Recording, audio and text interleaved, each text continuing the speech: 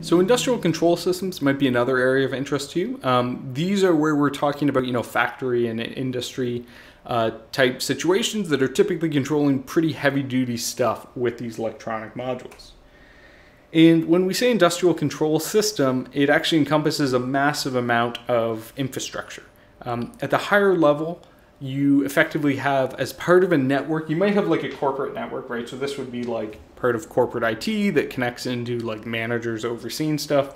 Um, but where it gets interesting is normally on the, the SCADA or the supervisory network. Um, and so this is normally like a, uh, a network that's more directly in control of, you know, a plant or multiple plants is, is pretty common. Um, this, so the SCADA side of it is borderline uh, standard IT. It's running, you know, there's custom protocols, there's custom software, all that stuff. Um, but in terms of the hardware, it's very similar to uh, standard computer networking gear. Um, on the, the lower side, I'll call it, um, it's normally running these little modules that we'll look at in a second called programmable logic controllers. Um, they're getting closer to embedded computers. Um, so these are things that are a lot uh, similar to the other devices we talked about.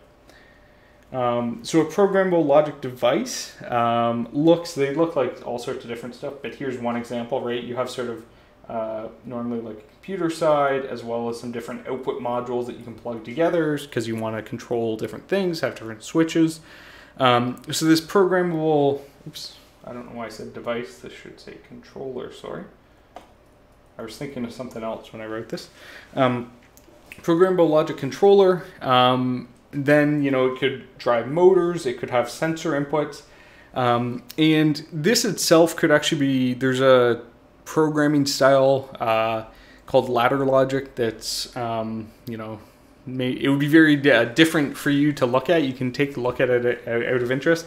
But what we're really interested in is what's inside them which turns out to often be like embedded computers. Um, I talked briefly about PLCs when we looked um, at the Stuxnet attack right? So they are a very uh, potentially vulnerable area because they can directly control a lot of pretty serious gear. Um, so the PLC itself, right, is uh, controlled then by that SCADA network. So um, in the previous one, I mentioned there's this supervisory network. So we call this the supervisory control and data acquisition.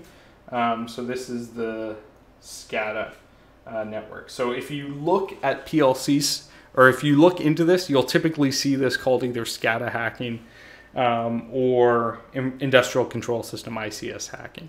Um, so if you're looking for resources, that's really where you should be going for. Um, as a cool example of this, so this is the Aurora generator test. Um, this was an example of how it's possible for a uh, cyber attack to cause physical damage. And so this actually kind of destroyed a very large um, industrial generator. And the question was, you know, could this type of cyber attack be used in warfare because it's actually causing severe damage to a grid? Um, it's hardly hypothetical. So there was a, a, power grid attack in 2015 in Ukraine. Um, and you know, there's there's a really interesting book actually written about it. So if you're curious, I'd, I'd recommend uh, checking this out. It goes through quite a bit of um, you know, not, not just the technical side, but uh, how it happened, how it was discovered, all that stuff. So it's a pretty interesting, um, pretty interesting topic. But really briefly, you know, this was a pretty multi-pronged attack on the the uh, power grid, right? And so you had a lot of this being like classic hacking, right? So compromising of the corporate network, and from there trying to to pivot into the SCADA network.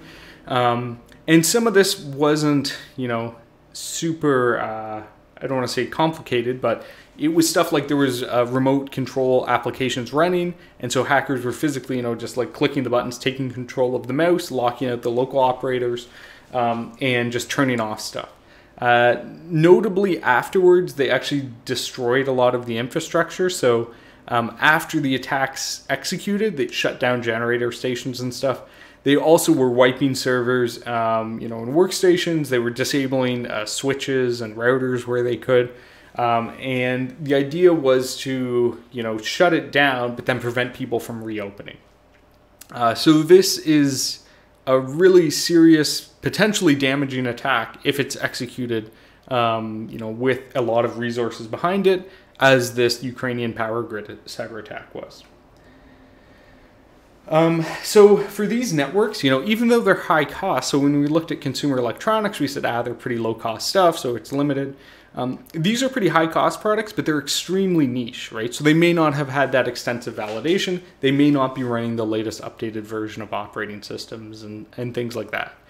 Um, the other main issue with ICS and SCADA systems is you often have very old systems that suddenly become internet connected.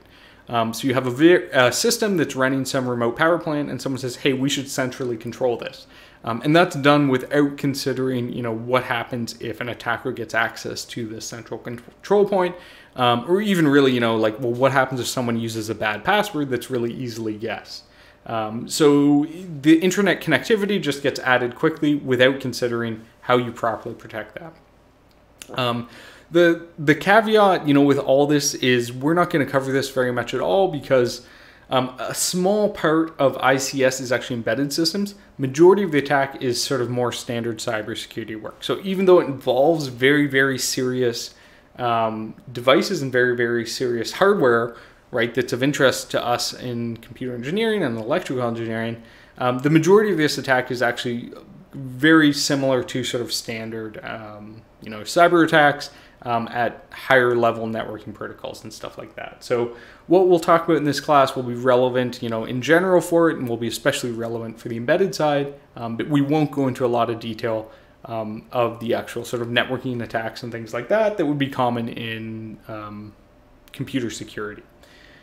Um, so if you're interested to sort of get an idea, uh, there's a few different resources available. There's sort of a book that um, goes over uh, some of, and especially, you know, what is the um, terminology? What do these systems look like? Because this might be totally new to you. Uh, but if you you think you might be interested in it, right, uh, this is a pretty good book that will help you get sort of a first look at what the systems look like, what the different, um, you know, terminology is, and where you can then go for a little more detail on this.